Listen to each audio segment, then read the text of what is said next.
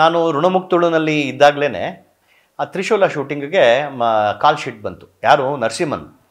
T V, K, T V ನರಸಿಂಹನ, T Narasimhan ಇರಬೇಕು, T Narasimhan ಇರಬೇಕು.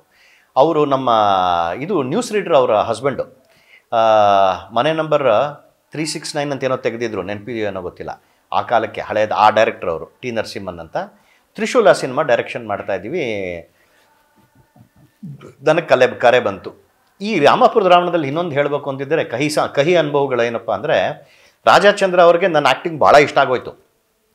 ಭಾಳ ಇಷ್ಟ ಆಗೋಗಿ ನನಗೆ ಅವ್ರಿಗೆ ನನಗೋಸ್ಕರ ಅಂತಲೇ ಒಂದು ಮೂರ್ನಾಲ್ಕು ದಿವಸ ಎಕ್ಸ್ಟ್ರಾ ಆಗೋಷ್ಟು ಡೈಲಾಗ್ಸು ಅವು ಇವು ಎಲ್ಲ ಬರ್ಸಿದ್ರು. ಸರಿ ಬರ್ಸ್ ಆದಮೇಲೆ ನನಗೆ ಆಯಿತು, ನಂದು ಕಾಲ್ ಶೀಟ್ ಏನಿತ್ತು ಮುಗಿಸ್ಕೊಂಡೆ, ಬಂದೆ, ಆಯಿತು. ಅದಾದಮೇಲೆ ನೆಕ್ಸ್ಟ್ ಕಾಲ್ ಶೀಟ್ಗೆ ಹೋದಾಗ ವ್ಯಂಗ್ಯವಾಗಿ ರಾಜಚಂದ್ರ ಅವರಂದರು ಏನಪ್ಪ, ನೀನು ಆಗಲೇ ಸಾಕಷ್ಟು ಬೆಳೆದ್ಬಿಟ್ಟಿದ್ಯಾ? ನಾವು ಇಷ್ಟಕ್ಕೆಲ್ಲ ಕಳಿಸಿದ್ರು ನೀನು ಕರೆಗೆ ಬರದೇ ಹೋದೆ. ಏಕೆ, ಏನು, ಹಿಂಗಾಗಲಿ? ಏನಾಯಿತು? ಹಂಗೆ ಅಂದರು. ಸರಿ, ಆಮೇಲೆ ಏನು ಸರ್, ಏನು ವಿಚಾರ ಅಂತ ಕೇಳಿದಾಗ ಆಗ ಅಸಿಸ್ಟೆಂಟ್ ಡೈರೆಕ್ಟರ್ ಇವರೆಲ್ಲ ಹೇಳಿದೆ, ನಿನಗೋಸ್ಕರನೇ ಇಷ್ಟೆಲ್ಲ ಬರ್ಸಿದ್ರು, ಎಕ್ಸ್ಟ್ರಾ ಸ್ಕ್ರಿಪ್ಟ್ ಹಾಕ್ಸಿದ್ರು. ನೀನೇನೆ ಕಾಲ್ ಶೀಟ್ ತೊಗೊಳ್ದೇನೆ, ಫೋನ್ಗೂ ಇದು ಬರ್ದೇನೆ, ಇದು ಮಾಡ್ಕೊಂಬಿಟ್ಟೆ. ಇಲ್ವಲ್ಲ ನಾನಿದ್ದೆ ಫ್ರೀಯಾಗೇ ಇದ್ದೆ ನಾನು ಮಾಡ್ತಾ ಇದ್ದೆ ಅಂತಂದರು. ಆಮೇಲೆ ವಾಸ್ತವ ಗೊತ್ತಾಯಿತು ಆ ಸಿನಿಮಾ ಪ್ರೊಡಕ್ಷನ್ ಮ್ಯಾನೇಜರ್ ಕಡೆಯವರು ಒಂದು ನಾಲ್ಕು ಜನ ಹುಡುಗರು ಆ ಸಿನಿಮಾದಲ್ಲಿ ಆ್ಯಕ್ಟ್ ಮಾಡ್ತಾಯಿದ್ರು ಸೊ ನನಗೆ ಕೊಡಿಸೋದು ತಪ್ಪಿಸೋದು ನಾನು ರಾಜೇಶ್ ಫೋನ್ ಮಾಡಿದ್ರೆ ಒಂದಿಲ್ಲ ಸರ್, ಊರಲ್ಲಿಲ್ಲ. ಅವಾಗ ಮೊಬೈಲ್ ಇಲ್ವಲ್ಲ ಲ್ಯಾಂಡ್ಲೈನ್ ಒಂದೇನೆ. ಅವ್ನು ರಾಜೇಶ್, ಇಲ್ಲ ಸರ್, ಊರಲ್ಲಿಲ್ಲ ಅಂತ ಹೇಳಿಬಿಟ್ಟು ಆ ಪಾ, ಆ ಪಾತ್ರನ ಅವ್ರಿಗೆ ತಪ್ಪು ಕೊಡಿಸ್ಬೇಕು ಅಂತ ಹುನ್ನಾರದಲ್ಲಿ ನಾನು ಇಲ್ಲ ಅಂತ ಹೇಳಿದ್ರು. ನಾನು ಇಲ್ಲ ಅಂತ ಹೇಳಿ ಅವ್ರಿಗೆ ಕೊಡಿಸ್ಬೇಕು ಅನ್ನೋ ಹುನ್ನಾರನೋ ಸರಿನೇ, ಆದರೆ ರಾಜಚಂದ್ರ ಅದಕ್ಕೆ ಒಪ್ಪದೇನೆ ಅದನ್ನ ಕ್ಯಾನ್ಸಲೇ ಮಾಡಿಬಿಟ್ರು.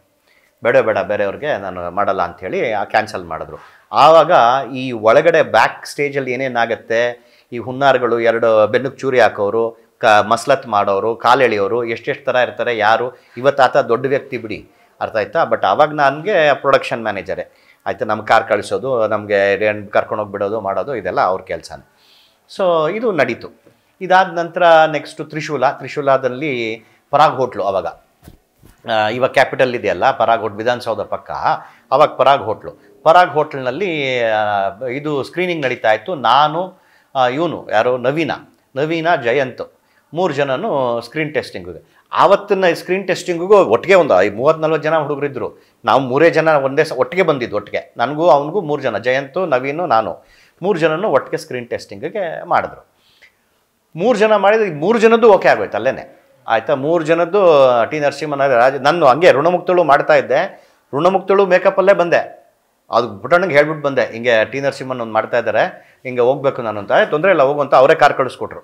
ಹೋಗಿ ಅಲ್ಲಿ ಹೋಗಿ ಅಲ್ಲಿ ಇದನ್ನು ಸ್ಕ್ರೀನಿಂಗ್ ಕೊಟ್ಟು ಟೆಸ್ಟ್ ಕೊಟ್ಟು ವಾಪಸ್ ಅದೇ ಬಂದು ಅಲ್ಲೇ ಶೂಟಿಂಗ್ ಕಂಟಿನ್ಯೂ ಮಾಡಿದೆ. ಸರಿ, ಆಮೇಲೆ ಟೀ ಟಿ ನರಸಿಂಹನ್ ಅವರು ಒಪ್ಕೊಂಡು ನಾನು, ನವೀನ ಇವನು, ಜಯಂತು ಮೂರು ಜನನು ತ್ರಿಶೂಲಾಗೆ ಒಟ್ಟಿಗೆ ಶುರು ಮಾಡಿದ್ವಿ. ತ್ರಿಶೂಲ ಶೂಟಿಂಗ್ ಎಲ್ಲ ಮೈಸೂರು. ಕಾವೇರಿ ಇಂಟರ್ ಕಾಂಟಿನೆಂಟಲ್ ಮೈಸೂರಲ್ಲಿ. ಸುಮಾರು ಒಂದು ಮೂರು ತಿಂಗಳು, ನಾಲ್ಕು ತಿಂಗಳು ಕ್ಯಾಂಪು. ನಮ್ಗೆ ಚಾಮುಂಡಿ ಬೆಟ್ಟ ನಮಗೆ ಅಂತಲೇ ಒಂದು ಮೀಸಲಾಗಿ ಹೋಗಿತ್ತು ಗಾಡಿ. ನಮಗೆ ಸಾಯಂಕಾಲ ಆದಮೇಲೆ ಕೆಲಸ ಏನು? ಗಾಡಿ ತಗೊಳ್ಳೋದು ಗಾಡಿನ ಡ್ರೈವರ್ ಇರೋನು, ಕಾರು ಹೋಗಪ್ಪ, ಕರ್ಕೊಂಡು ಹೋಗೋದು, ಶಾ, ಚಾಮುಂಡಿ ಬೆಟ್ಟದಲ್ಲಿ ಅಲ್ಲೂ ಶೂಟಿಂಗ್ ನಡೀತಾ ಇತ್ತು ಮೇಲೆ. ರಾತ್ರಿ ಹೊತ್ತು ಶೂಟಿಂಗ್ ನಡೆಯೋದು ಅದು ಲಲಿತ್ ಮ್ಯಾಲ್ ಪ್ಯಾಲೇಸ್ ಅಂತ ಏನೋ ಒಂದು ಇರಬೇಕು ಮೇಲ್ಗಡೆ. ಅಲ್ಲಿ ಶೂಟಿಂಗ್ ನಡೆಯೋದು, ಸಾಯಂಕಾಲ ನಾವೆಲ್ಲ ಟೈಮ್ ಪಾಸ್ಗೆ ಮೇಲೆ ಹೋಗೋದು, ಬರೋದು, ಬಾಲಾಜಿ ಸಿಂಗ್ ಅವ್ರದ್ದು ಸಿನಿಮಾ ಅದು, ತ್ರಿಶೂಲ. ಅವರ ತಮ್ಮನೋ, ಅಕ್ಕನ ಮಗನೋ ಯಾರೋ ಒಬ್ಬನ ನಮಗೆ ನೇಮಿಸ್ಬಿಟ್ಟಿದ್ರು. ಮಕ್ಕಳನ್ನ ನೋಡ್ಕೊಳ್ಳೋಕ್ಕೆ ನಮಗೆ ಅಯ್ಯೋ, ಎಷ್ಟು ಚೆನ್ನಾಗಿ ನಮ್ಮನ್ನು ನೋಡಿಕೊಂಡ್ರು ಅಂದರೆ ನಾವು ಮನೆಯಿಂದ ಮೂರು ತಿಂಗಳು ನಾಲ್ಕು ತಿಂಗಳು ರೇಖಾ, ಬೇಬಿ ರೇಖಾನೂ ಇದ್ಲು ಅದರಲ್ಲಿ. ಬೇಬಿ ರೇಖಾನೂ ಒಂದು ಮೂರು ತಿಂಗಳು ನಾವು ಮನೆಯಿಂದ ಹೊರಗಡೆ ಇದ್ದೀವಿ ಅನ್ನೋ ಭಾವನೆಯೇ ಇಲ್ಲ. ಅಷ್ಟು ಚೆನ್ನಾಗಿ ನೋಡಿಕೊಂಡ್ರು ನಮ್ಮನ್ನ ನಮಗೆ ಬೇಸರ ಕೆ ಆರ್ ಎಸ್ಸು ಚಾಮುಂಡಿ ಬೆಟ್ಟ ನಮ್ಗೆ ಲೆಕ್ಕವೇ ಇಲ್ಲ. ಎಷ್ಟು ಸಲ ಹೋಗಿದ್ದೀವಿ ಅಂತಲೇ ನಮಗೆ ಲೆಕ್ಕ ಇಲ್ಲ. ಬೇಜಾರಾದಾಗೆಲ್ಲ ಹೋಗೋದು ಬರ, ಇಷ್ಟು ಟ್ರಾಫಿಕ್ ಎಲ್ಲಿತ್ತು? ಕಾಲು ಗಂಟೆ ಅರ್ಧ ಗಂಟೆ, ಮುಕ್ಕಾಲು ಗಂಟೆಗೆ ಹೋಗ್ಬಿಡ್ತಾ ಇದ್ದೋ ನಾವು. ಸೊ ಹಾಗಾಗಿ ಕೆ ಆರ್ ಎಸ್ಸು ಇದು ಎಲ್ಲ ಭಾಳ ನಮಗೆ ಮನೆ ಥರ ಆಗೋಗಿತ್ತು. ಹೋಗೋದು, ಬರೋದು, ಅಷ್ಟೆಲ್ಲ ಚೆನ್ನಾಗಿತ್ತು. ಕೆ ಅದು ಒಳ್ಳೆಯ ಅನುಭವ. ಒಂದು ಸಲ ರೇಖಾ, ನಾನು ನವೀನು ಎಲ್ಲ ನಮಗೆಲ್ಲ ಒಂದು ದೊಡ್ಡ ರೂಮ್ ಕೊಟ್ಬಿಟ್ಟಿದ್ರು. ದೊಡ್ಡ ರೂಮ್ ಅಂದರೆ ಡಾರ್ಮೆಟ್ರಿ ಒಂದು ಹದಿನೈದು ಜ, ಹತ್ತು ಹದಿನೈದು ಬೆಡ್ ಹಾಕೋಷ್ಟು ಬಟ್ ನಾವು ಇದ್ದಿದ್ದೇ ನಾಲ್ಕು ಜನ. ನಾನು, ರೇಖಾ, ನವೀನು, ಜಯಂತ್. ನಮ್ಗೆ ನಾಲ್ಕೇ ಜನಕ್ಕೆ ಒಂದು ರೂಮು ಬಟ್ ದೊಡ್ಡ ಡಾರ್ಮೆಟ್ರಿ ಅದು. ಸರಿ, ಒಂದು ದಿವಸ ಅಲ್ಲಿ ಸಿನಿಮಾದ ಲೋಕಲ್ ಪ್ರೆಸ್ನವರು ಇಂಟರ್ವ್ಯೂ ಮಾಡೋಕ್ಕೆ ಬರಬೇಕು. ನಮ್ಮನ್ನು ಇಂಟರ್ವ್ಯೂ ಮಾಡೋಕ್ಕೆ ಬರ್ತೀನಿ ಅಂತ ಬಂದರು. ಬಂದಾಗ, ಸರಿ ಆವಾಗ ರೇಖಾ ಒಂದು ಆಟ ಕಟ್ಟಿದ್ಲು. ಏ, ನಿನಗೆ ಹುಡುಗಿ ಡ್ರೆಸ್ ನನ್ನ ಡ್ರೆಸ್ ಎಲ್ಲ ನಿಂಗೆ ಹಾಕ್ಸ್ಬಿಡ್ತೀನಿ. ಹಾಕ್ಸ್ಬಿಟ್ಟು ನೀವು ಇಂಟರ್ವ್ಯೂ ಮಾಡೋಣ ಅಂತ. You won't believe full interview ಮುಗಿದು, ಅವಳೇ ನನಗೆ ಲಿಪ್ಸ್ಟಿಕ್ಕು ಅವು ಇವು ಎಲ್ಲ ಹಾಕಿ ರೆಡಿ ಮಾಡಿದ್ಲು ರೇಖಾನೆ. ಸೊ ಎಲ್ಲ ಮುಗಿದು ಇಂಟರ್ವ್ಯೂ ಆಗಿ ಅವ್ರು ಹೋಗೋ, ಹೋಗ್ಬೇಕಾದ್ರೆ ಹೇಳಿದ್ರು ಕೂಡ ಅವ್ರಿಗೆ ಬರ್ತಾ ಇಲ್ಲ. ಇವನು ರಾಜೇಶ್, ಇವನು ಹುಡುಗಿ ಅಲ್ಲ ಇವ್ರು ಹ್ಞೂ ನಂಬಿಕೆನೇ ಬರ್ತಾ ಇಲ್ಲ. ಅಷ್ಟು ಚೆನ್ನಾಗಿ ಆಗಿತ್ತು. ಅದೊಂದು ನೆನಪು ತ್ರಿಶೂಲ್ ಅದು. ನಮ್ಮ ಮಕ್ಕಳಿಗೆ ಎಲ್ಲ ನಮಗೆ ಸ್ವಾತಂತ್ರ್ಯ. ನಮಗೇನು ಅಪ್ಪ, ಅಮ್ಮ ಯಾರೂ ನಮ್ಮ ಜೊತೆಲೇ ಬರ್ತಿರಲಿಲ್ಲ. ನಾವು ಯಾರು ಮನೆ ನಮ್ಮ ತಂದೆ, ತಾಯಿ ಹೆಂಗೆ ಅಂದರೆ, ಮನೆ ಎದುರುಗಡೆ ಶೂಟಿಂಗ್ ನಡೀತಾ ಇದ್ರು ಆಚೆ ಬರ್ತಿರಲಿಲ್ಲ. ಮನೆ ಪಕ್ಕದಲ್ಲಿದೆ ಇಲ್ಲಿದೆ ಅಂದರೆ ಅವ್ರಿಗೆ ಭಾವನೆ ಏನು ಅಂದರೆ, ಪ್ರೊಡ್ಯೂಸರು ಸಾಕಷ್ಟು ಖರ್ಚು ಮಾಡಿ ಅವ್ರನ್ನ ತೆಗಿತಾ ಇರ್ತಾರೆ. ಒಬ್ರದ್ದು ಊಟ, ಒಬ್ರದ್ದು ಸ್ಟೇ, ಭಾಳ ಬರ್ಡನ್ ಆಗಬಾರ್ದು ಕಣಪ್ಪ. ಬೇಡ, ನೀನು ಹೋಗಿ ಬಾತಿ ನಾನು ಮೊದಲನೇ ಸಿನಿಮಾಯಿಂದ ಹಿಡಿದು ಕೊನೆ ಸಿನಿಮಾದವರೆಗೂ ಯಾವತ್ತೂ ನನ್ನ ಕಡೆ ನನ್ನ ಜೊತೆಯವ್ರು ಯಾರೂ ಬಂದು ಉಳ್ಕೊಂಡು ಇದ್ದೂ ಇಲ್ಲ. ಒಂದು ದಿವಸ ನನ್ನ ಜೊತೆಲಿ ಇದ್ದಿದ್ದೂ ಇಲ್ಲ. ಬಂದು ಡ್ರಾಪ್ ಮಾಡಿ ಹೋಗೋದಷ್ಟೇ ಅವ್ರ ಕೆಲಸ. ಇಂಥ ಸಂದರ್ಭದಲ್ಲಿ ಒಂದು ಸಲ ನಿಮಗೆ ಋಣಮುಕ್ತಳುನಲ್ಲಿ ನಾನು ಶಾರ್ಟ್ ಮುಗಿದ ಮೇಲೆ ಕಂಠರವ ಸ್ಟುಡಿಯೋದಲ್ಲಿ ಆ ಕಡೆ ಈ ಕಡೆ ಓಡಾಡ್ತಾ ಇದ್ದೆ. ಒಂದು ಫ್ಲೋರ್ ಎದುರುಗಡೆ ಪುಟ್ಟಣ್ಣ ಕಣ್ಗಾಲು ಚೇರ್ ಹಾಕೊಂಡು ಕೂತಿದ್ರು. ಇನ್ನೊಂದು ಕಡೆಗೆ ಇನ್ನೊಬ್ಬ ಕ್ಯಾಮ್ರಾಮನ್ನು ನಮ್ಮ ಋಣಮುಕ್ತಳು ಕ್ಯಾಮ್ರಾಮನ್ ಅಲ್ಲ ಅವರು. ಇನ್ನೊಬ್ಬರು ಕ್ಯಾಮ್ರಾಮನ್ ಪಕ್ಕದಲ್ಲೇ ಕೂತಿದ್ರು. ನಾನು ಹಿಂಗೆ ಆ ಕಡೆ ಈ ಕಡೆ ಓಡಾಡ್ತಾ ಇದ್ದೆ ಇದಕ್ಕಿದ್ದಂಗೆ ಪುಟ್ಟಣ ಕಂಡ ಬರ ಇಲ್ಲಿ, ಅಂದರು. ಸರಿ, ಹೋದೆ. ಹಿಂಗೆ ಪಕ್ಕದಲ್ಲಿಗೆ ಕರೆಸ್ ಕೂಡಿಸ್ಕೊಂಡು, ಹೆಗಲ ಮೇಲೆ ಕೈ ಹಾಕೊಂಡು, ಸೊಂಟದ ಮೇಲೆ ಕೈ ಹಾಕೊಂಡು ಡೈರೆಕ್ಟರ್ಗೆ ಹೇಳ್ತಾರೆ ನೋಡಿ ಭಾಳ ಚೆನ್ನಾಗಿ ಆ್ಯಕ್ಟಿಂಗ್ ಮಾಡ್ತೇನೆ ಇವನು ನಿನ್ನ ಕಮಲಾಸನ್ ಮಾಡ್ದಂಗೆ ಮಾಡ್ತೀನಿ ಕಣೋ, ಅನ್ನೋರು ನನಗೆ. ಪುಟ್ಟಣ್ಣ ಭಾಳ ಇಷ್ಟಪಡೋರು ನನ್ನ. ಸೊ ಇದೊಂದು ಪುಟ್ಟಣ್ಣ ಅವ್ರ ವಿಚಾರದಲ್ಲಿ. ಆಮೇಲೆ ಪುಟ್ಟಣ್ಣ ಅವರು ಇದರಲ್ಲಿ ಋಣಮುಕ್ತುಳಲ್ಲಿ ಇದ್ದಾಗಲೇ ಅವ್ರಿಗೆ ಆಗಲೇ ಒಂದು ಸಲ ಹಾರ್ಟ್ ಅಟ್ಯಾಕ್ ಆಗಿಬಿಟ್ಟಿತ್ತು. ಆಗಲೇ ಅವ್ರ ಕೋಟ, ಸಿಗರೇಟು. ಅವ್ರ ಅಸ್ಟೆಂಟ್ ಕೈಗೆ ಪ್ಯಾಕೆಟ್ ಕೊಟ್ಬಿಟ್ರು ಅವರು. ಬೆಳಗ್ಗೆ ತಿಂಡಿ ತಿಂದಮೇಲೆ ಒಂದು ಸಿಗರೇಟು, ಮಧ್ಯಾಹ್ನ ಊಟ ಆದಮೇಲೆ ಒಂದು ಸಿಗರೇಟ್ ಕೊಡಬೇಕು. ರಾತ್ರಿ ಊಟ ಆದಮೇಲೆ ಸಾಯಂಕಾಲಕ್ಕೆ ಮೂರು ಅಥವಾ ನಾಲ್ಕು ಸಿಗರೇಟ್ ಮೇಲೆ ಕೊಡೋಂಗಿಲ್ಲ ಅವನು. ಇದು ಅವ್ರ ಕೋಟ. ಇದು ನಡೀತಾ ಇತ್ತು, ಅದಾದಮೇಲೆ ಮಸಣದ ಹೂವು ಶುರು ಆಯಿತು. ಮಸಣದ ಹೂಗಾಗಲೇ ಎರಡು ಅಲ್ಲೊಂದು ಸಲ ತಿರ್ಗಾ ಅಟ್ಯಾಕ್ ಆಯಿತು.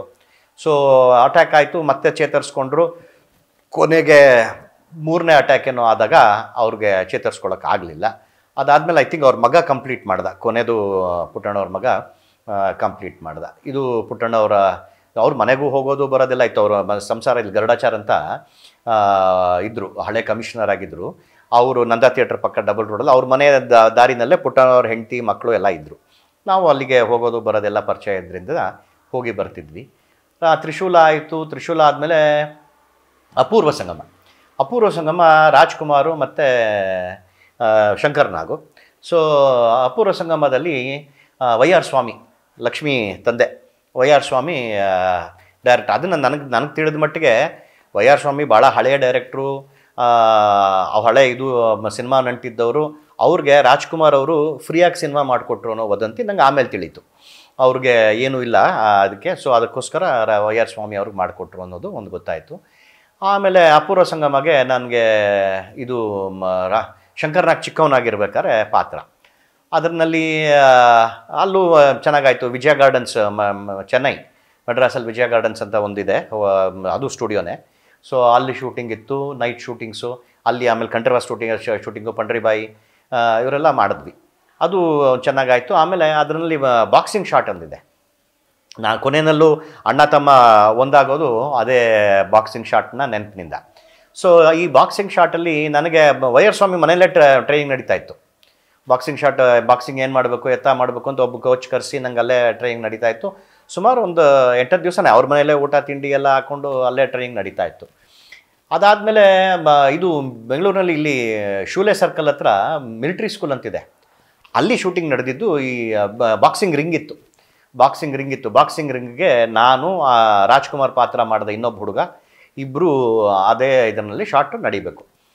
ಪಾಪ ಅವನು ಶೂಟಿಂಗ್ ಟೈಮಲ್ಲಿ ಮಾಡ್ತಾ ಒಂದು ಶಾರ್ಟಲ್ಲಿ ಮಿಸ್ ಆಗಿ ಹೊಡೆದ್ಬಿಟ್ಟ ಸರಿ ಅವ್ರು ನಂಗೆ ಹೊಡೆದ ನಾನು ಸುಮ್ಮನಿರ್ಬೇಕಲ್ಲ ನಾನು ಮೊದಲೇ ನಟೋರಿಯಸ್ ಫೆಲೋ ಚಿಕ್ಕದರಲ್ಲಿ ಅಯ್ಯೋ, ಭಾರಿ ಗಲಾಟೆ. ಗಲಾಟೆ ಅಂದರೆ ಆಟದಲ್ಲಿ, ಬೇರೆ ಏನು ಹೊರದಿಂದ ಆಟದಲ್ಲಿ ಗಲಾಟೆ ಅಂಥವು ಇಂಥವೆಲ್ಲ ಇದ್ದೆ. ಸರಿ, ಆಮೇಲೆ ನೆಕ್ಸ್ಟ್ ನನ್ನ ಚಾನ್ಸ್ ಸಿಕ್ತಲ್ಲ ಶಾರ್ಟಲ್ಲಿ ಬಾಡದೆ ಅಂದರೆ ಅವ್ನು ಮ್ಯಾಂಡಿಬಲ್ಲೇ ಹೋಗ್ಬಿಟ್ಟಿತ್ತು. ಸರಿ, ಆಮೇಲೆ ಅದೇನೇನೋ ಆಯಿತು. ಆಮೇಲೆ ಸರಿ ಮಾಡಿಕೊಂಡು ಅದೊಂದು ಅಪೂರ್ವ ಸಂಗಮ ಕತೆ ಆಯಿತು.